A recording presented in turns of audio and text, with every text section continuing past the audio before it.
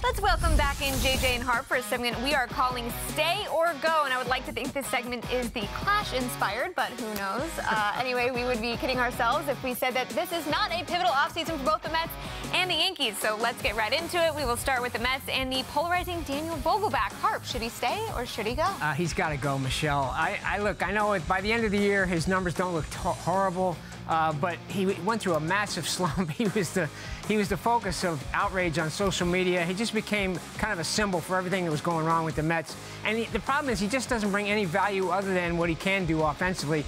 You know, the, the running, there's no defense, the base run, anything like that. So I think you got to find a better option at DH than Daniel Vogelbach. You know, it's amazing. You see his numbers. Yeah, they're, they're a lot better than I thought they were. The quite the frankly, yeah. they're a lot better than I thought they were, and it goes to but tell a lot you. Of that was meaningless baseball. Bingo. A lot of August, September home runs when the Mets were out of it. I think they need to upgrade that DH spot. We talked about this a couple of days ago on Baseball Night in New York. I am so intrigued by the idea of buying low on somebody like Rhys Hoskins, bringing him in. He hits for immense power. That's the thing with Vogelbach. You want to think that he's a big-time power hitter. You look up, he's got 15 home runs. He's got 16 home runs. Give me a bona fide power hitter in that DH spot. I'm moving What's wrong with Ohtani, JJ? Wow, that'd be nice. um, yeah, I mean, I was going to say, like, I was curious realistically who they could go out and get, but there's one thing that I will say, in all of my years covering baseball, I have never, and I mean never, been around someone who talks about baseball hitting pitch selection as much as Daniel Vogelbach does. So you want him back? You want him back? There you go. Realistically, if there's someone better to replace him, we'll see if the Mets replace him. But if not, I don't think he's a bad option. Rhys Hoskins. All right. Well, the Mets bullpen will certainly look a little different next season. Uh, JJ, will Drew Smith continue to be in it? So I'm going to say yes, believe it or not. And I know a lot of the numbers and a lot of the performance is going to point to moving in a different direction. But here's what I'm looking at, Harp. I want to have as many arms in the bullpen as humanly possible, and maybe you have a new staff that comes in and figures this guy out. You know, he does have good stuff. We've seen it. Look at Paul Sewald right now for the Arizona Diamondbacks closing out games in the NLCS. Like, I'm not saying that Drew Smith is going to be closing out games at big time playoff moments, but I do think you're in a position where you want to have as many arms as humanly possible, I bring him back for another year. It's funny you mentioned that name, JJ. I was trying to convince our producers that maybe a guy like Drew Smith turns into a Paul Sewald. You never know. He, you know, you know, in some ways, he was the Daniel Vogelbach of the bullpen because he gave up so many big hits on slider, hanging sliders and key games, and he's just been a frustrating guy. But you're right. I looked up at. Hitters hit, uh, the opponents hit 171 off his fastball. He's, he's got the good fastball. He's got to figure it out.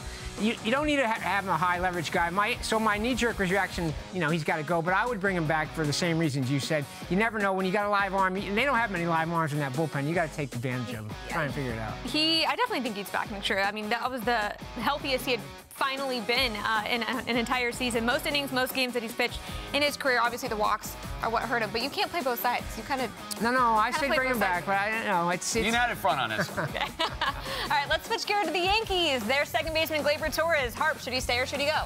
Uh, I'm going to say go. I look. I know the numbers in the end the, the, by the end were good. His best numbers he's had in a while, and he looks like maybe he's starting to figure it out again. But to me, JJ, he's a guy who makes so many bonehead plays. I just want to. To me, he's not a winning player. Even if he does put up numbers, he makes big, big mistakes in key situations. It seems like, and he just gets. He, he loses focus. Whatever. I want to make a change there. I'll move Opie to second. Peraza at short. And uh, I'll even bring back Urshela. Maybe make make him a uh, kind of a for, uh, utility guy. But I think I think you got to try and get something for Torres while his numbers are good. You can trade something. okay. I totally understand the baseball IQ point, and Gleyber Torres has never lived up to what I think Yankee fans thought he was going to be. That said, Harp, they're dying know, for know, offense. He's one of their best offensive players. I mean, if you take Aaron Judge out of the equation, Gleyber Torres was the best everyday Yankee in 2023 from a position player standpoint. They need that offense. He still hits for power. He's still one of the better offensive second basemen in the sport. And if you let go of Gleyber Torres, I don't think your offense is good. How many days did he make you pull your hair out? Oh, way too many. or make me go gray, all of the above. What wouldn't? Okay, one more Yankee, Isiah Kiner-Falefa. JJ, stay or go? So I'm going to say go. And he did all the right things, and he was a pro's pro, and I liked where he played all over the place. Harvey just doesn't hit enough. That's what it boils down to. I'm looking to upgrade this offense. I want guys coming off the bench who are going to give me more from an offensive standpoint. I appreciate the fact that IKF was a pro. He did the best he could last year. He played all over the place. We know he's not an outfielder. Didn't embarrass himself, but I'm saying sayonara. Yeah, he got a lot of compliments just because he figured out a way to be useful after he couldn't play shortstop for him or whatever. But you're right. When at the end of the year, you look at the numbers, and they're, they're underwhelming. So they got to find a way to get offense. I know you can say keep Torres, that would help. But I, I got to move on from Mike IKF. You got to get better offense somewhere. He only played in 113 games last year, by the way.